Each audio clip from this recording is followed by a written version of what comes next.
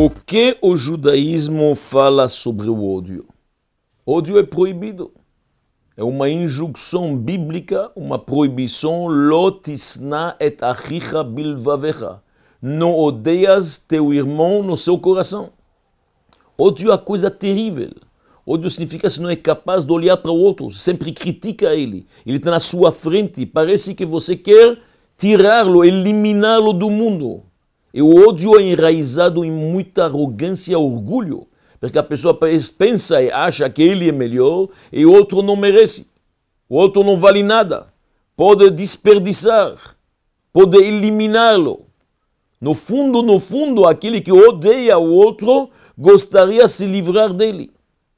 E normalmente este ódio vem por causa de inveja e principalmente por orgulho e arrogância e acaba corroendo a pessoa, porque ele se morde, ele se come, e cada vez que ele vê o outro, ele está se comendo. Ele não entendeu ainda que o outro tem o mesmo semblante divino que você.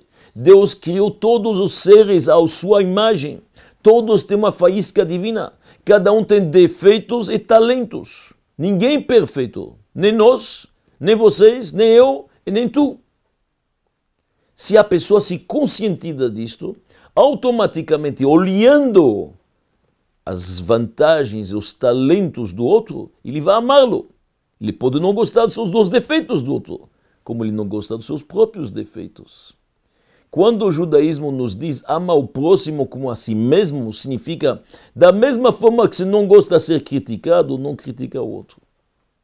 Olha favoravelmente o próximo não se permite rebaixar, entrar nesta cilada que é o ódio, que é a inveja, que acaba consumindo a própria pessoa. O amor ao próximo é a melhor coisa para a gente ter uma sociedade gostosa, um ambiente fantástico. Um ampara o outro, um estende a mão para o outro. Somos irmãos. Ódio é proibido.